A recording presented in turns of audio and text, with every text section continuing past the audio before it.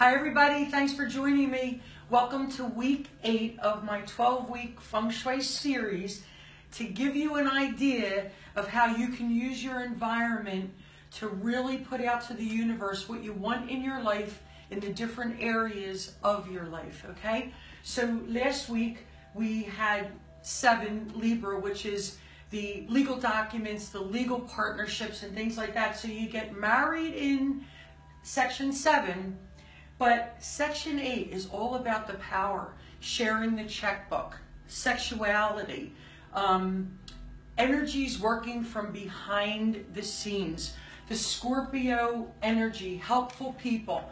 And as Lahni always used to say to me, if you want to clean out that room and get rid of things, call a Scorpio friend because they're the first one to grab it, throw it out because you don't need it anymore. But it's also um, hidden agendas, um, if you have a closet in this space, you want to make sure that closet's really in order because it's the, also the area of paranoia, hidden energies. This is where energies work from behind the scenes. The crystals, the crystal for Scorpio section is garnet. This area relating to sexuality is not so much the fun, like in the partnership and the love and creativity in section five, the Leo energy. This is more about getting down to business. This is fertility. This is the area of having children and sex for children. So if you're having trouble conceiving, take a look at this section. Now remember, you walk in on 9, 10, or 11. So as you walk in the room, this section is the first third of that right wall. So as you can see in my workspace, this area has my Reiki symbols on it. Not that they're labeled, not that anybody could see them and know what to do with them when they leave, but here's the hidden mysteries of healing. This is unlocking the symbols that are actually in our cellular memory. And once you've gotten your attunement, this is when these become active in the body, in your soul, in your spiritual work. And for me, this is my helpful people. This is my group help. This is where my guides and my angels come in to work with me and other people that are healers. And that's just, you know, how it works. Uh, it's also about um, sharing the power, okay? So you get married, now it's time to share the checkbook but it also is about your own power, you know, to have things happen. It's about groups. And um, I'm going to steal this right from Ralph and Lahni's book, Feng Shui and the Tango. But a wonderful image here would be a group of climbers because it's about the group that helps you to succeed and get to where you're going. So let's say in real estate, you would have the group that you work with. Um, if you're a ballet dancer, you would have the group of the ballet on stage, photographs of that. If you're in school and you're playing basketball, you would have a picture of your team there. So this is really working behind the scenes, but it's as a group effort or a partnership effort.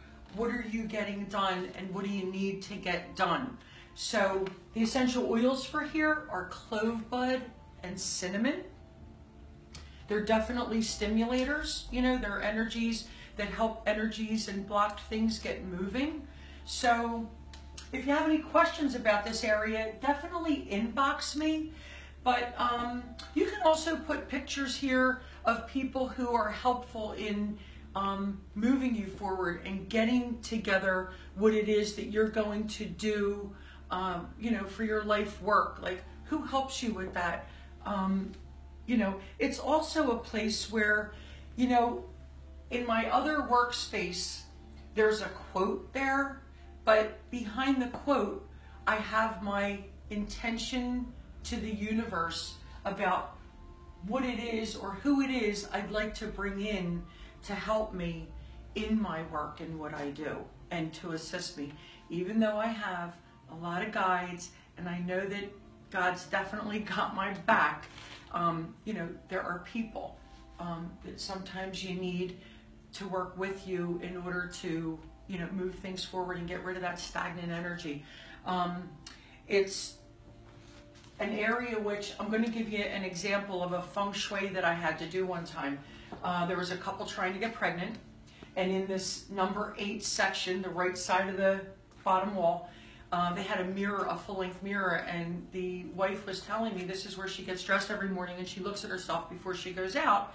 But here, she had a mirror. So, mirrors, remember this mirrors deflect energy back or away. So, what she was doing is she was deflecting the energy of the power of reproduction and fertility. When she took that mirror down, she got pregnant, and today, it's about 15 years later, she's got four children. So, if you're trying to get pregnant, check out this section in your bedroom because really the bedroom's the only place that makes a difference for that. Um, to each his own. And uh, so, you know, check it out. And if you need some more ideas or you just have a question, please feel free to inbox me, email me.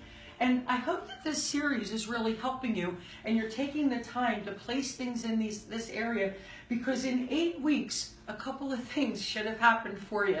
So, um, as always, I love you. This is why I share the information. And next week, we'll be in uh, section nine, travel and higher education. So, have a beautiful week. I hope this was helpful and I love you.